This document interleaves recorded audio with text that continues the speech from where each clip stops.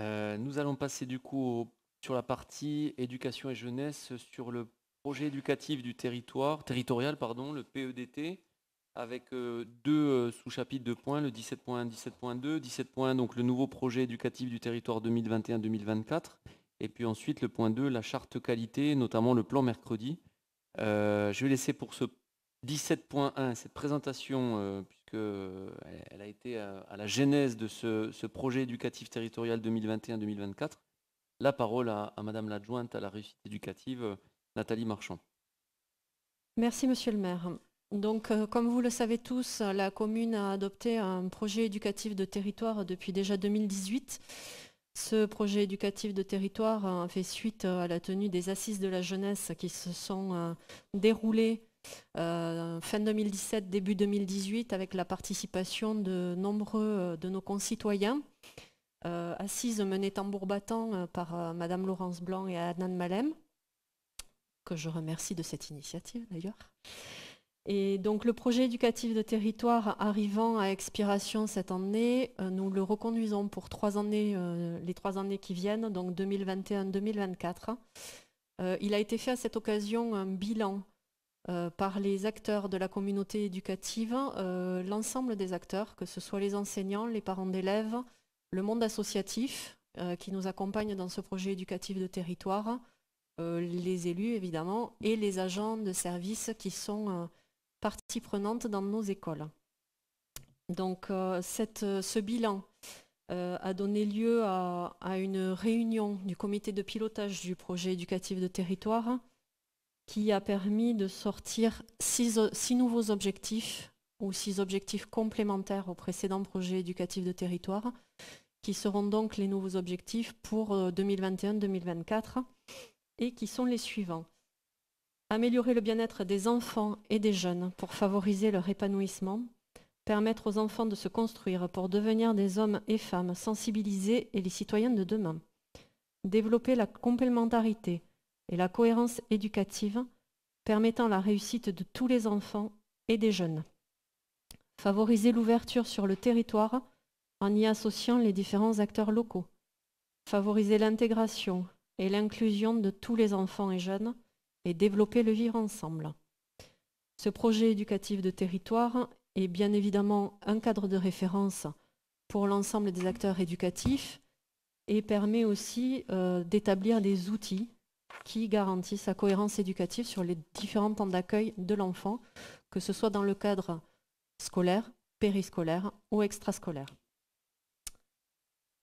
Donc l'Assemblée est invitée à autoriser Monsieur le maire à renouveler ce projet éducatif territorial et à le transmettre à l'inspection académique et à la direction départementale de la cohésion sociale et de la protection des populations. Y a-t-il des questions? Pas vraiment une question. Isabelle Manteau pour Saint-Sulpice Active et Citoyenne. Alors, j'allais dire pas vraiment une question, plutôt une remarque. Euh, parce qu'en lisant euh, donc justement le bilan qui a été fait euh, sur ce PEDT euh, 2018-2021, il est souligné entre autres que le mouvement des équipes d'animation pénalise la bonne conduite de ce, PEDT pardon, sur trois niveaux.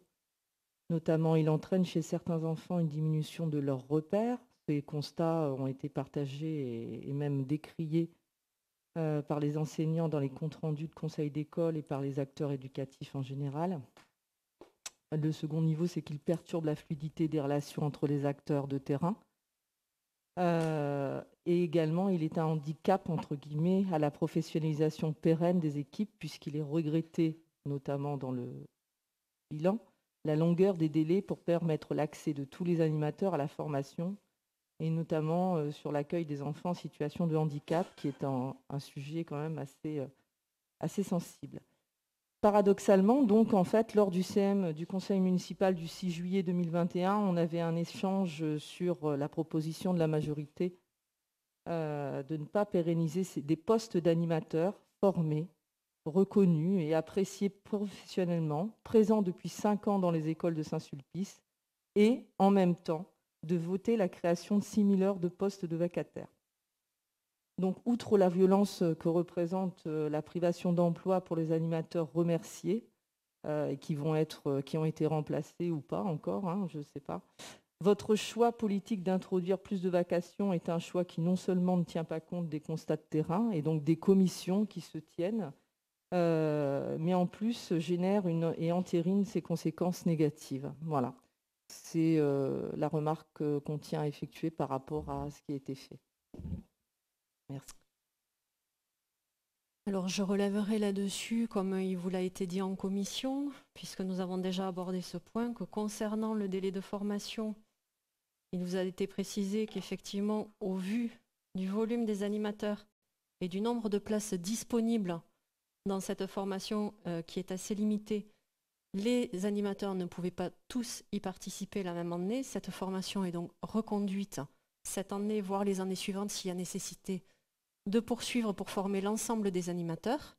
Ça vous a été précisé déjà en commission.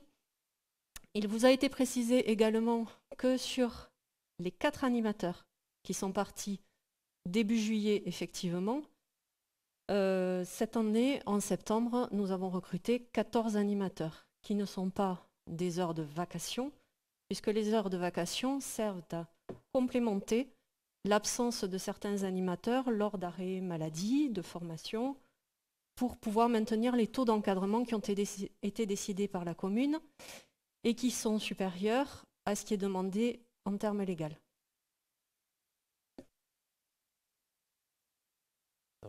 Juste euh, Julien Lassalle pour le groupe Saint-Sulpice Activité Citoyenne. Enfin, je, souscris à ce qu'a dit ma collègue Isabelle Manteau. Euh, à, noter quand même qu'à la rentrée, ça a été un petit peu la pagaille euh, sur les premières semaines, puisque, y compris sur le site de la mairie, on cherchait à recruter encore des, du personnel pour, euh, pour l'animation. Donc, ce qui montre quand même que, quoi qu'on en dise, les contrats précaires, voire très précaires comme les vacataires, n'attirent pas forcément les foules. Ça, c'est un, constat. Euh, je voudrais juste compléter aussi sur la question de, l'inclusion, euh, puisque c'est repris aussi dans les objectifs du, PEDT. Euh, il y a un sujet qu'on avait, qu'on avait soulevé ici en conseil municipal, et je sais que ça a été porté en conseil d'école. c'est sur la question de la tarification de la cantine notamment pour les enfants qui ont des allergies alimentaires et donc qui doivent avoir régime, enfin voilà, qui ne peuvent pas manger certains aliments, tout ça. Où on avait déjà soulevé, je crois que c'était Sandrine Destaya, enfin j'en suis même sûr à l'époque, qu'il avait, avait soulevé sur la, tarification très élevée euh, pour, euh, pour ces enfants. Euh, et donc, dans le cadre de, de cet objectif d'inclusion, ça serait bien qu'on remette, c'était d'ailleurs un engagement qui avait été pris d'étudier ce que, que, la collectivité pouvait faire, mais je pense que ça serait bien qu'on puisse avancer aussi sur ce sujet, euh, parce que on trouve que c'est pas normal qu'un enfant, parce qu'il a des allergies, soit le repas soit presque 10 euros, je crois, si la mémoire est bonne, entre 9 et 10 euros. là où... Ouais. ouais, 11 euros. Voilà, merci.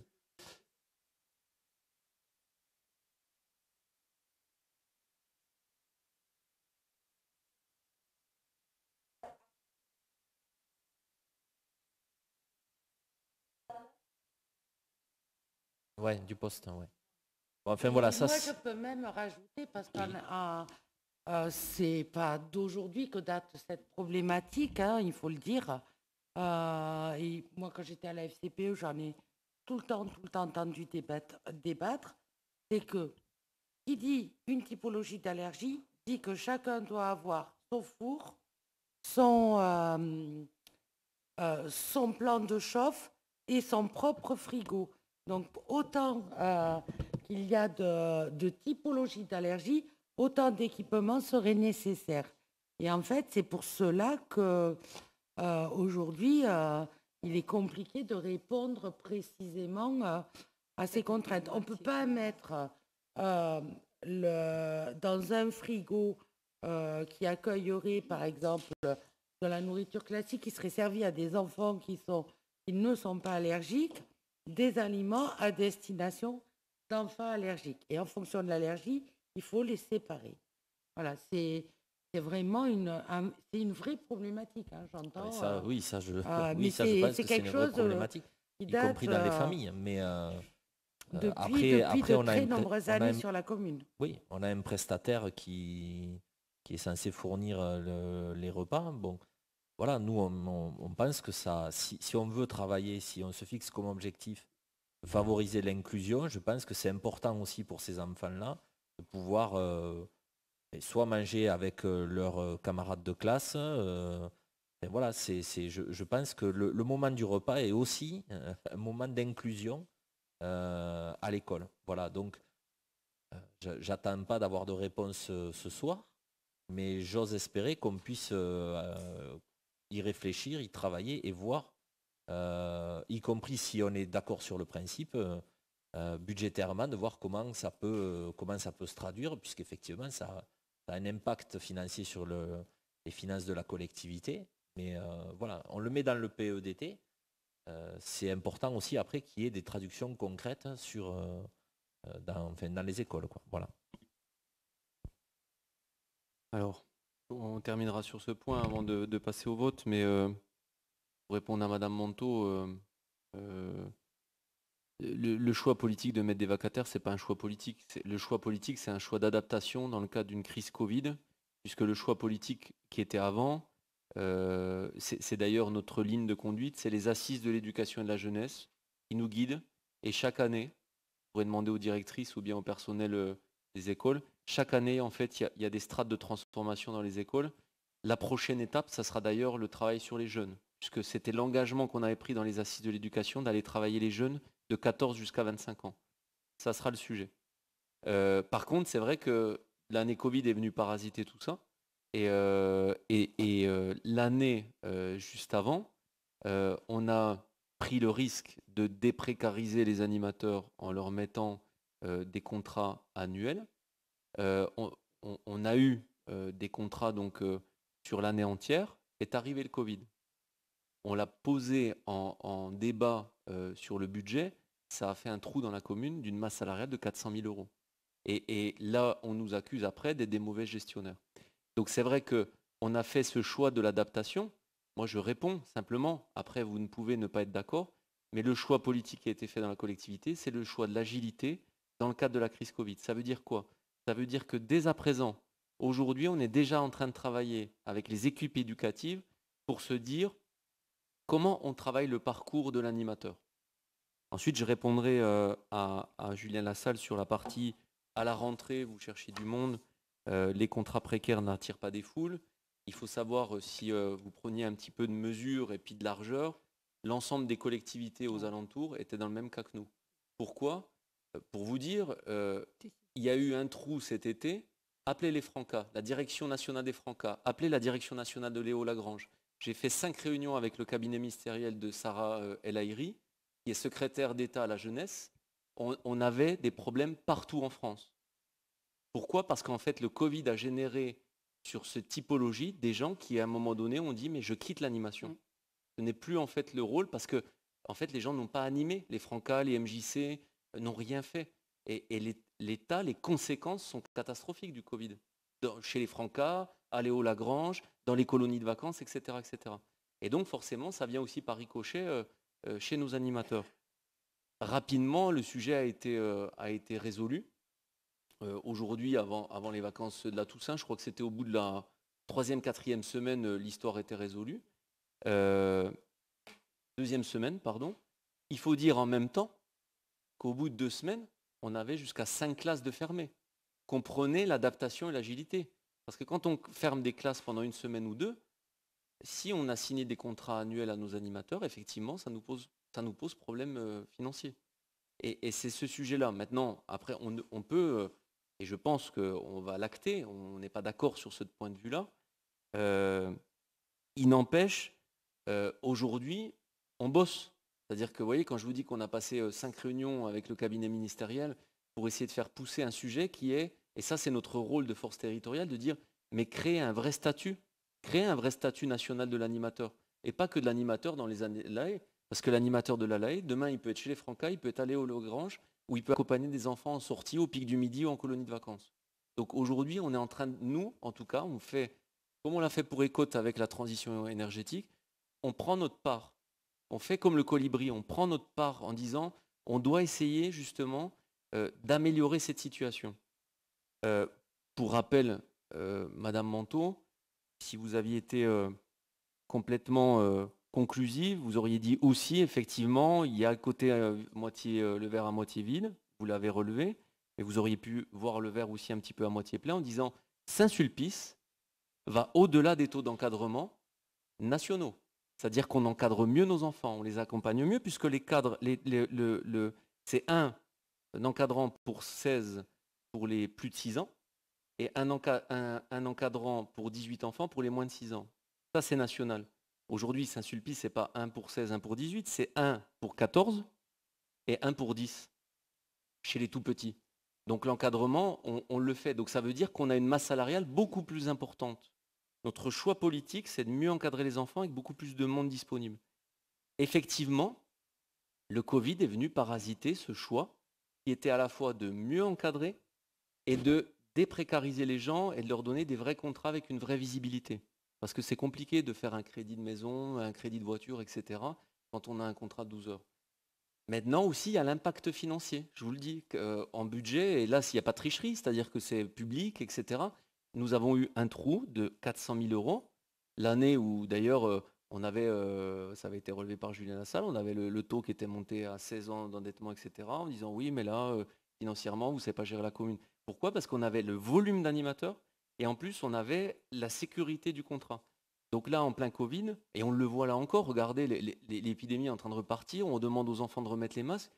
Qui nous dit pas que dans trois mois, euh, ça va être euh, catastrophique Je ne suis pas là pour annoncer euh, du pessimisme ambiant, mais il faut être vigilant. Et donc, ce que nous, on a dit, et on, on en a parlé aux directrices et au conseil d'école d'ailleurs, en disant, c'est un choix qu'on fait pour passer cette zone de brouillard.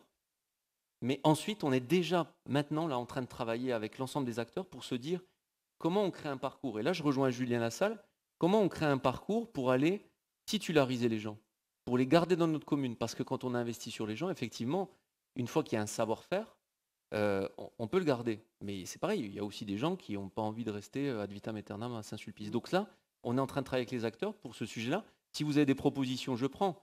La proposition, c'est pas dire bah, vous, vous titularisez tout le monde. Parce que derrière, quelle carrière vous offrez aux animateurs qui rentrent chez nous à 21 ans jusqu'à 62, peut-être demain 65 ans? Donc ça, c'est un vrai sujet.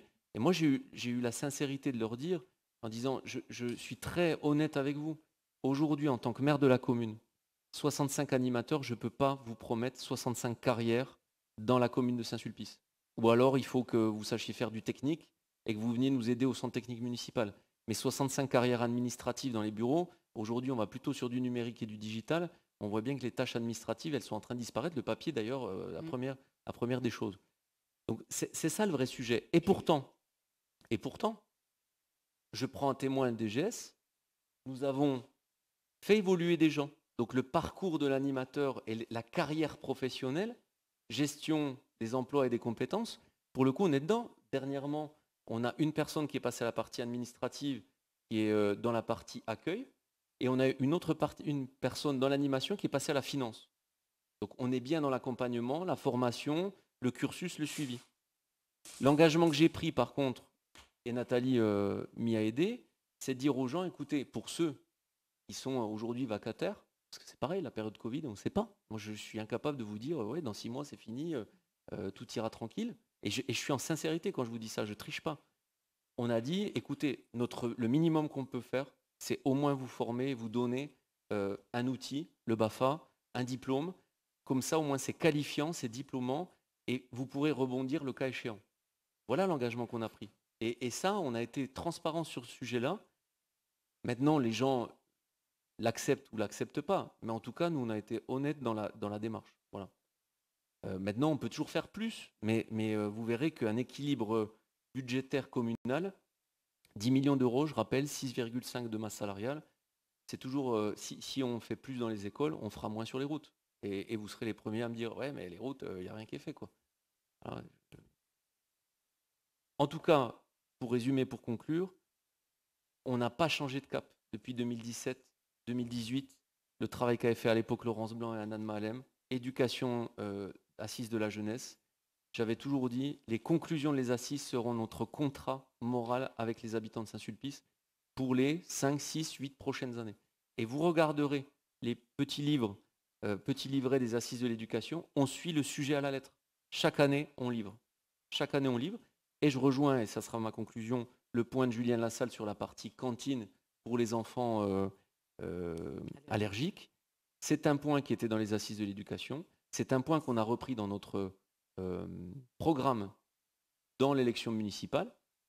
Et on s'est engagé dans la mandature à le faire. Pas dire mieux. Je vous propose du coup de passer euh, au vote et, de m'autoriser donc à renouveler le, plan éducatif euh, territorial euh, avec l'inspection d'académie et la direction départementale de la cohésion sociale et de la protection des populations. Qui est contre Qui s'abstient Vote à l'unanimité. Nous allons passer au point 17.2, donc je l'avais dit hein, euh, auparavant, Madame la conseillère euh, municipale Marie-Claude Drabec, pour nous parler de la charte qualité et notamment le plan mercredi, ainsi que la convention relative à la mise en place du PEDT. En février 2019, la commune a approuvé la charte qualité plan mercredi et la mise en place d'un projet éducatif territorial, le PEDT, pour une durée de trois ans. Cette charte, ainsi que la convention avec la CAF, doit être reconduite afin d'acter l'engagement de la commune à organiser des activités scolaires de qualité en cohérence avec le projet éducatif surnommé. Cette convention sera signée pour trois ans, de 2021 à 2024, avec les partenaires du PEDT, l'Éducation nationale, Service jeunesse, engagement et sport, CAF et la mairie.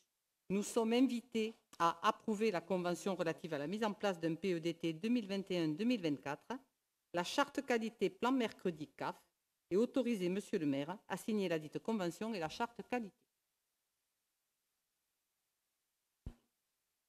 Y a-t-il des questions sur ce sujet euh, plan euh, mercredi?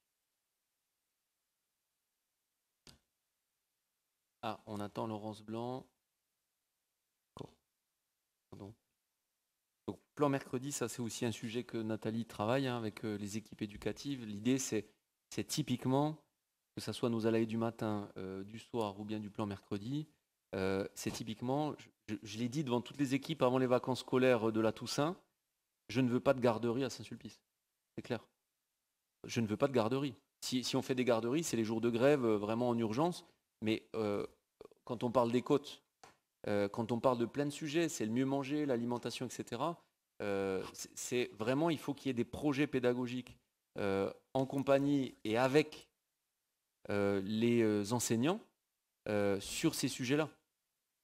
typiquement, et, on l'a dit au conseil d'école de Louise Apollin, surtout pas les enseignants d'un côté et la de l'autre. Essayer de, faire des projets pédagogiques ensemble, parce que c'est encore plus de force vis-à-vis des, enfants. Message qui a d'ailleurs été entendu, puisque Louise Apollin, maintenant, on a même des animateurs qui vont dans le conseil des professeurs, qui n'avait jamais eu lieu à Saint-Sulpice, Typiquement, ça c'est les assises, c'est le PEDT, c'est aussi, et surtout, comme on l'a dit avec Écoute, les citoyens qui à un moment donné deviennent acteurs. Et nous, euh, on se retire, on a lancé la machine, maintenant les citoyens s'entendent, et ça c'est super. C'est super, les, animateurs disent, les, conseils des profs nous ont ouvert euh, et nous laissent participer, chose où avant il y avait un, une pas une interdiction, mais... Euh, ouais, il y avait un veto, voilà. mais exactement, mais exactement. Mais ça, c'est du lien. Mais le lien, quand vous, quand vous changez systématiquement de personne, ces liens se défont et ont du mal à se recréer. Quand on crée du lien, il faut savoir le garder également. Euh, si, vous, si, vous, le permettez, j'ajouterais que dans le cadre de cette interaction entre les projets éducatifs des enseignants et euh, le travail des ALAE, va se tenir euh, en collaboration un Cluedo géant le 10 décembre au soir qui est porté par une enseignante de Marcel Pagnol, donc en collaboration avec les équipes d'Alae de Marcel Pagnol. Donc euh, pour ceux qui sont disponibles, je vous invite à venir à jouer au Cluedo, version géante, euh, ou venir voir comment ça se passe euh, sur Marcel Pagnol. Merci Madame Marchand. Du coup, je vous invite à approuver la convention relative à la mise en place d'un projet euh, éducatif territoire 2021-2026 au titre du plan mercredi, en vue de sa labellisation, plan mercredi, établi pour une durée de trois ans. Qui est contre? Qui s'abstient? Merci beaucoup.